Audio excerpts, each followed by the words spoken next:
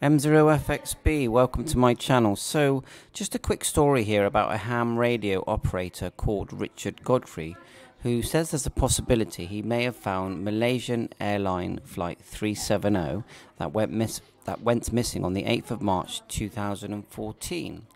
So, there's lots of info on the Wikipedia here. So, Richard Godfrey claims, and I think it's using uh, WSPR uh, software, that he may be able to track the the lost aeroplane MH370.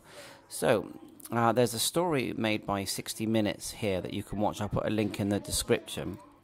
We've got some photographs here of the path that he thinks the plane had taken, where even after three hours took a holding position for 20 minutes before uh, possibly plunging into the ocean.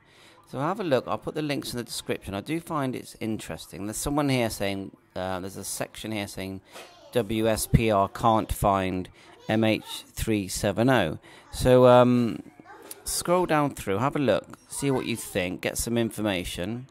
Uh, this link here is very good. If you look at this link here, the search for the MH370, scroll down and look. You've actually got some uh, some diagrams here of, of you know of what they're plotting basically. So and even some maps. So um, and here's some WSPR links here and uh, some some talk about how can WSPR help find the MH370.